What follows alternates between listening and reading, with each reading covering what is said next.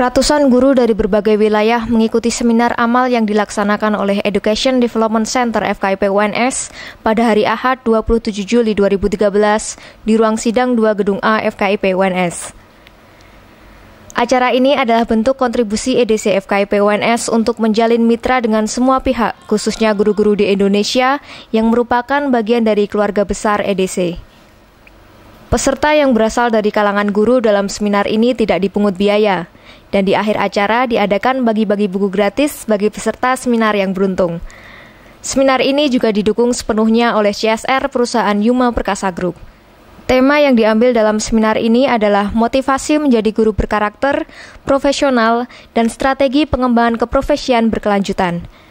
Profesor Dr. M. Furkon Hidayatullah MPD selaku pakar pendidikan dan juga dekan FKIP UNS hadir sebagai pembicara, dilanjutkan oleh Dr. M. Rohmadi M. Hum yang juga merupakan Ketua EDC FKIP UNS. Para guru yang hadir dalam acara ini diharapkan dapat menyampaikan materi seminar kepada rekan-rekan guru yang lain. EDC juga berharap nantinya akan dapat menyelenggarakan pendidikan dan pelatihan yang bekerja sama dengan CSR dari berbagai dunia usaha atau dunia industri. Guru harusnya menjadi panggilan jiwa tapi kinerjanya profesional. Walaupun awalnya terpaksa tidak apa-apa. Boleh gawe noror yang ya. Kemudian oleh guru magang yang sudah tanggani sendiri tidak apa-apa. Tapi sekarang mulai diluruskan Pak Ibu jadi pendidik bersyukur tidak? mari kita uji. Agar profesi pendidik menjadi suatu kenikmatan bagian maka guru harus bersyukur Bersyukur ada tiga hal. Pertama, menerima secara positif sebagai profesi pendidik. Yang kedua, tidak dolim terhadap profesi pendidik.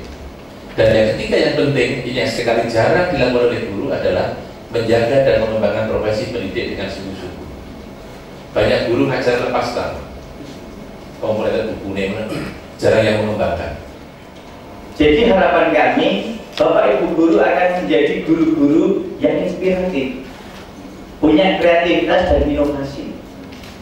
Jadi tidak hanya sekadar mengatakan bahwa Pak kami tidak punya media, Pak kami tidak punya buku, Pak kami tidak bisa. Tapi kita masih diberi akal dan pikiran yang sempurna. Ini yang harus kita kembangkan. Sehingga apa Bapak Ibu ketika saya katakan adanya kurikulum tadi dikatakan Prof. Furkan saya sangat setuju. Kurikulum apa pun kuncinya di mindset guru. Guru yang menjadi strategi untuk pencapaian alam tersebut. Nah, oleh karena itu, saya ingin mindset kita yang berubah.